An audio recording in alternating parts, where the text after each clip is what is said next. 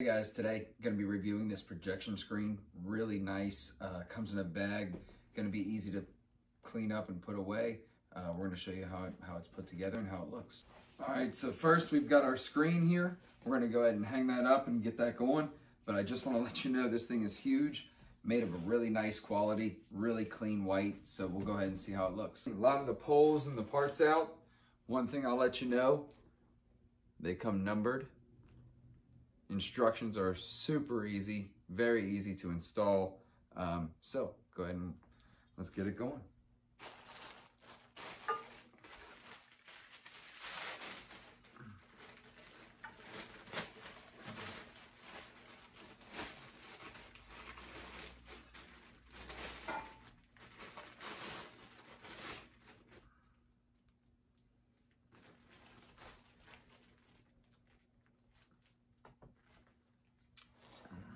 So we've got our hole here.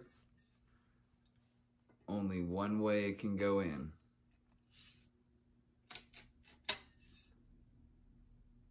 All right, next one.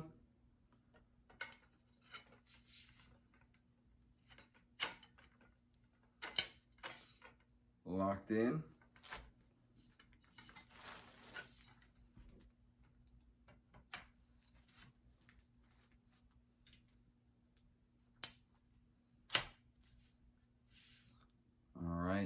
First part.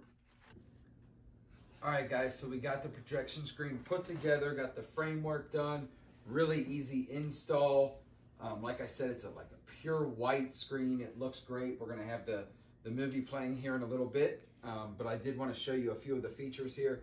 Um, really easy to latch this on here, just wrap one over on top of the other one. This one slides on with a Velcro, and that one just attaches around the top. You'll be able to have these just attached really easy on the bottom. And it's the same setup on the other side.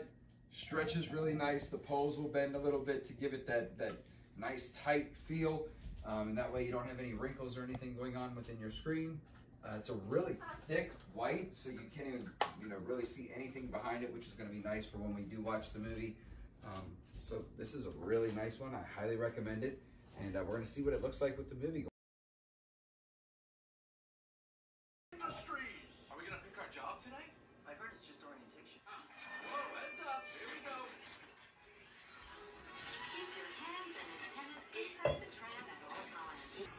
Yeah, like right over the top of the projector. Glow.